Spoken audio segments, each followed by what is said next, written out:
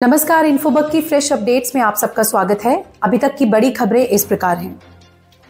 सेना ने एलओसी पर तंगदार सेक्टर में घुसपैठ की नाकाम देर रात से मुठभेड़ जारी।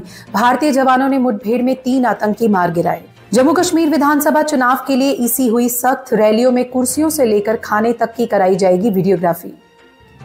विधानसभा चुनाव के प्रचार में नज़र नहीं आएँगे गुलाम नबी आज़ाद। डीपीएपी ने पहले चरण के चुनाव के लिए जारी की है पंद्रह प्रत्याशियों की सूची। स्वास्थ्य संबंधी मुद्दों को देखते हुए विश्राम कर रहे हैं आज़ाद।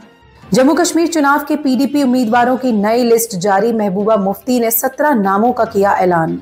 रामबन में बादल फटने से तीन की मौत, चार लापता, राहत और बचाव कार्य जारी। केंद्र सरकार ने यूपीएससी परीक्षाओं में उम्मीदवारों की पहचान आधार से सत्यापित करने का किया फैसला।